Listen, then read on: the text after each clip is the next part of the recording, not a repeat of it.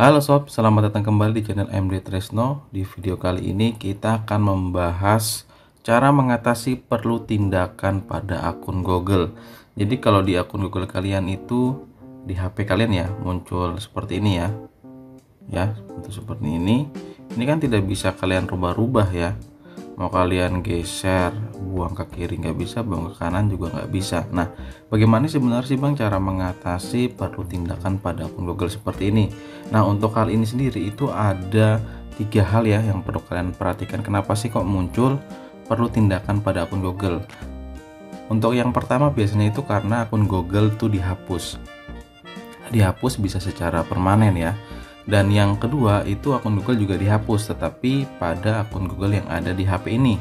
Ya, jadi kalau kalian di HP kalian itu hanya ada satu akun Google dan kalian menghapus akun Google tersebut, maka tidak ada akun Google yang digunakan untuk membackup aplikasi ataupun apa pun yang ada di HP kalian. Dan yang terakhir adalah berkaitan dengan sandi. Jadi biasanya kalau akun Google kalian tuh kalian rubah sandinya, kalian ganti passwordnya ya, maka akan muncul juga hal seperti ini. Lalu bagaimana sih Bang cara mengatasinya? Nah, untuk cara mengatasinya gampang banget ya. Jadi dari tiga hal tersebut tadi nanti akan muncul secara otomatis uh, per, apa penyelesaiannya ya gitu ya. Kecuali kalian tahu ini masalahnya di mana seperti itu. Jadi untuk menyelesaikannya kita pilih saja dia sedang memeriksa info ya. Nah, di sini kita itu diminta untuk memverifikasi diri Anda jadi di sini keterangannya itu uh, apa namanya anda telah logout dari akun Google terus diminta login kembali.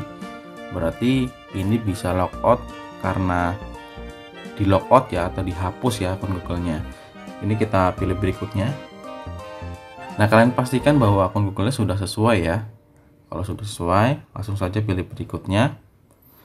Nah ternyata di sini akun Google-nya itu dihapus ya kan? Akun Google-nya dihapus keterangannya ada di sini ya kan? Di situ keterangannya adalah akun ini baru-baru ini dihapus dan mungkin dapat dipulihkan. Nah jadi kalau kalian uh, memiliki kondisi seperti ini di mana akun Google kalian itu dihapus ya. Dihapus kalau seperti ini tampilannya berarti dia tuh dihapus secara permanen dan masih bisa kita pulihkan untuk akun Google ini. Jadi di sini langsung aja kalian pilih ya berikutnya. Ini mau kita pulihkan berarti ya. Kita mau memulihkan akun Google.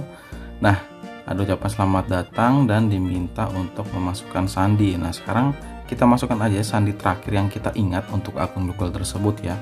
Kita masukkan. Oke kalau sudah kita pilih berikutnya.